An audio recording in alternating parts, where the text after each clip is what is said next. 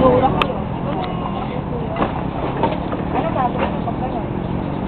Aabangan nyo, di ba? Ito, papatawarin na lang. O yan ha, sinabi niya, papatawarin na ano. Papatawarin daw niya. So, kailangan natin kasi sabi dito, kamatayan ang kabayaran ng kasalanan. Ngunit ang kaloob ng Diyos ay buhay na walang hanggan sa pamamagitan ni Kristo. So, lahat tayo nagkasala, maski kami lahat. Kasalanan yun. Naghihiwalay sa atin sa Diyos. Ngayon, bakit kaya hindi marinig ng Diyos yung mga panalangin natin? Dahil sa kasalanan natin, kailangan muna nating sabihin, kailangan nating mag, mag ano, ano nga yun, kailangan natin mag-repent, kailangan natin mag, magsisi. Yung pagsisisi natin, hindi lang sa salita.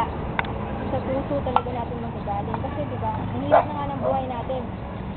Sa, impyerno pa ba tayo pupunta? Maraming mayayaman, alam nyo ba? Maraming mayaman. Ang gusto nila, yumaman pa lang yumaman, di ba? Meron na nga sila, may dalawa na sasakyan, gusto isa pa may may kalaki, ka- pagkarami-raming damit, gusto madas, madami pa, di ba ganun ang ano ng tao? Ano yung meron, gusto mas marami. Kailangan natin mag magpasalamat tayo. Kung wala man lang tayo, at least nasa atin si ang Panginoon Jesus, di ba? Kahit mahirap ang buhay, pag namatay tayo, hindi natin alam kung kailan, di ba? May, may mga namatay din sa na mga hindi natin inaasahan. Kasalanan ng ba nila? Hindi. Pero pag tinanggap nila si Jesus, ang Panginoon at tagapagligtas, hindi, ang kasalanan ang puso nila. Kasalanan ang puso nila. May problema, sabi ni Ate, kasalanan. So, ano ba yung kasalanan? Yan. Magbigay nga ng example. Sige nga. May kasalanan na kayo. Ano yun? Kasalanan. Bigay ka nga ng example ng kasalanan. Ah, Dahil saway. Magsaway. Magsaway. Magsaway sa nanay. Ayaw makinig. Ano pa? Nagsisinungaling. Ano pa? Ano pa kasalanan? Ha? Sinungaling. Aaway. Nagmumura. Ano ba? Madami lahat ng... Tsaka kahit alam mo tama, pero hindi mo ginawa kasalanan yun. So, kita nyo to? Kita nyo to? Pag itim, ano ibig sabihin ng itim? Kasalanan. Ibig sabihin, madumi. Madumi ang puso natin. So, lahat ng kasalanan, ang kabayaran yan ay kamatayan tayo. So, pwede bang umakinig dito sa langit yung may kasalanan?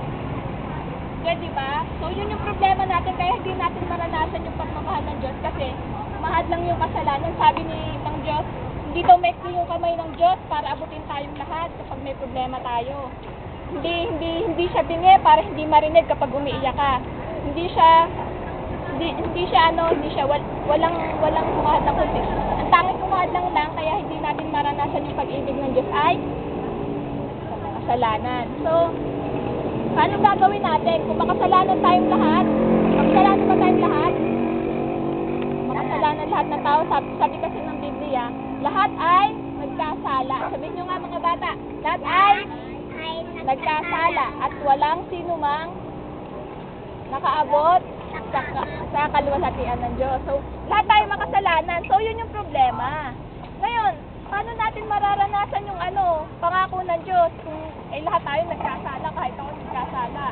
Paano natin yung mararanasan? Na. So, ano yung solusyon ng Diyos? Hawak mo. Mainit eh. Bakit kaya pula? Pag-ibig. Pag-ibig. Ano pa? Kasi, para, ang tanging solusyon ng Diyos para maranasan natin yung pangako niya. Di ba, anong kulay ng puso natin? Itim, kasi punong-puno ng Kasalanan. kasalanan. Ang tanging solusyon ng Diyos ay ang kamatayan ni Jesus. Kaya sabi niya kanina, For God so loved the world that He gave His one and only Son. Gayon na lamang ang pag-ibig ng Diyos sa sanlibutan, kaya ibinigay niya ang kanyang Kaisa-isang isang anak upang ang sino mang Ang sa kanya sumasampalataya ay hindi mapapaano. hindi magkaroon ng buhay na Walang hanggan. So, yun yung tanging solusyon ng Diyos. Hindi, kapag gumagawa ka na mabuti, hindi hindi ka ililigtas na mabuti ng gawa. Yung, yung mabubuting gawa, ginagawa mo siya,